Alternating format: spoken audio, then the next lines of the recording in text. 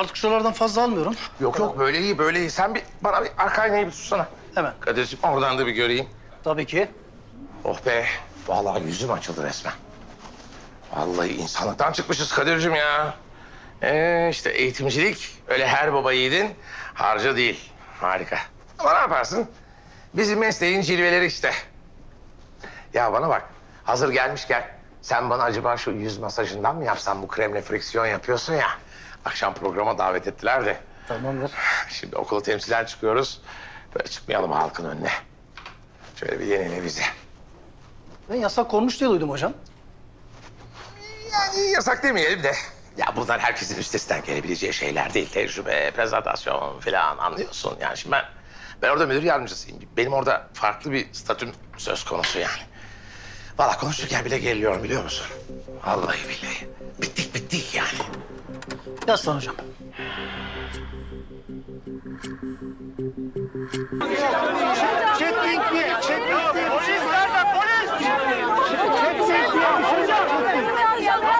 Ne oluyor ya?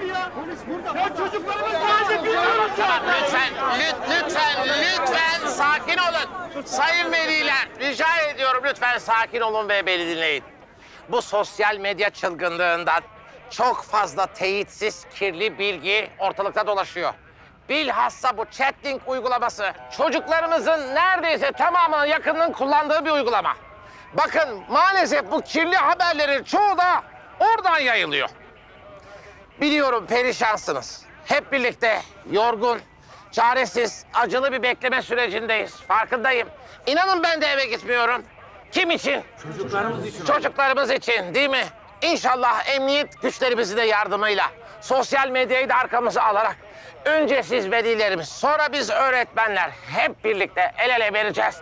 O Akif denen adamı yakalayacağız. İnşallah. İnşallah çocuklarımızın da birinin dahi burnu kanamadan onları da hep birlikte kurtaracağız.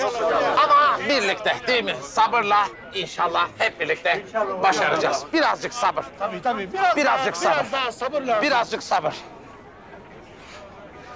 Hocam, farkındayım. Yani siz de onaylamıyorsunuz ama her yerde çığlıklar yükselmeye başladı. Nerede bu eğitimciler, nerede bu eğitimciler diye. Yani hocam böyle eli kolu bağlı. Ne bileyim duyarsızmış gibi görünmeyelim. Basın burada olduğumuzu bilsin. Okulumuz için. Ya aslında haklısınız da acaba Yılmaz komisere mi sorsak? Hocam Allah aşkınıza Yılmaz komiser şimdiye kadar ne yapmış ki şimdi bir şey yapsın? Kurdular oraya bir çadır. Girdiler içine. Burada insanlarla, velilerle biz muhatabız hocam. Ya doğru söylüyorsun, doğru söylüyorsun da var mı senin aklında bir şey? Aklımda var demeyelim de bir fırsat var değil. Fırsat değil. Ya Maalesef artık kimseyi tanıyamıyorsunuz.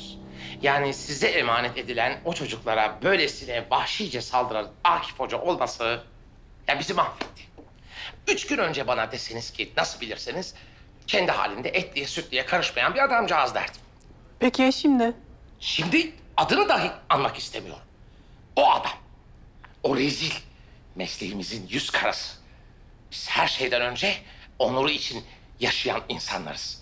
Şunu da bilinmesini istiyorum. Bakın o adama her öğretmen dediğinizde, başta ben olmak üzere bütün mes- meslektaşlarım biz derinden yaralanıyoruz. Haklısınız. Çok haklısınız. Kader hocam sizce bunu niye yaptı? İnanın bilmiyorum. Yani çünkü düşününce bu olanları aklım almıyor. Bakın bizler öğretmeniz ama sadece öğretmeyiz. Bizler aynı zamanda yol da gösteririz. En azından ben böyle yetiştim. Ama düşününce de e, aklıma e, ünlü olma çabası herhalde yani. Başka ne olabilir? Bütün bu yapılanlar, olanlar yalnız böyle çaresiz bir adamın acınası çabaları. Yazık. Akif Erdem tüm bunları neden yapıyor? Türkiye'nin merak ettiği bu sorunun cevabı için... Buldu ya bir olay. Hemen kendini göstermeye çalışıyor. Kaldığımız yerden devam edeceğiz. Ünlü olma hırsıymış. Senden çok kimde var acaba o?